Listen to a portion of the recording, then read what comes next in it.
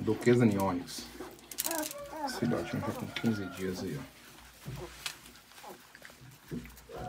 ó. A cadela sempre bem cuidadosa, trata muito bem dos filhotinhos. Elas têm uma alimentação bem, bem melhor também, para poder criar os cachorrinhos sem precisar ajudar.